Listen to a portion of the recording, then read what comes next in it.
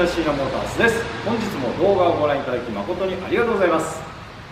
本日ご紹介しますのはホンダ CBR1000WR、えー、こちらね SC57 前期モデルとなります。非常にねコンディションのいい1台となっております。早速ご紹介していきたいと思います。はい、えー、まずねフロント周りからです。えー、ねレプソルカラーが非常に際立ってます。アッパーカールね大きな割れ傷。そういったものね見受けられませんね。飛び石などもありませんね、えー、スクリーンもね非常にコンディションのいい状態です、はい。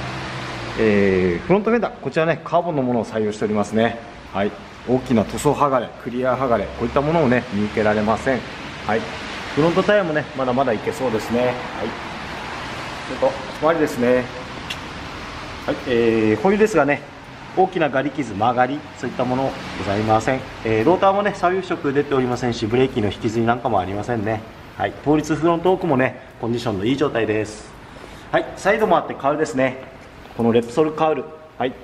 えー、この辺でしょうかね。ちょっとね傷ありますが機能上問題ありませんね。はい。エンジンスライダー装着となっております。はい。ステップです。大きなね曲がり削れございません。はい、えー、リア足回りですね。フロント同様ですね。オレンジのホイール。非常にねコンディションいいですね。ガリ傷サビそういったものもございません。ローターもコンディション良好です。そしてねフェンダーねインナーフェンダーカーボンを採用しております。はいリアタイヤ。これもねまだまだですね。はいでこちらねなんといってもマフラーですね。センターアップのマフラーなんですがストライカー。こちらのマフラー採用しております。音は後ほどご紹介していきたいと思います。はいえー、シートですね。フロントシート。タンデムシートともにね破れ切れはありません。タンク。大きなねへこみ傷。こちらもありません。レプソルのねオレンジが非常に綺麗な状況です。タンク内です。はいもちろんですがサビ不色はありませんね。はい出来上がりい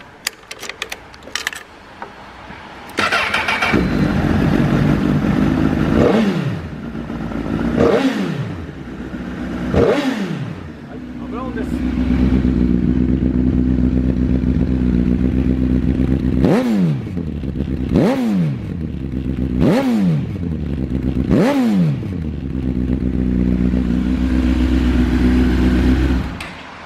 えー、こちらのモデルですね今でも人気です。特にねこのレプソル外装なかなか希少でね、えー、お探しすることができません。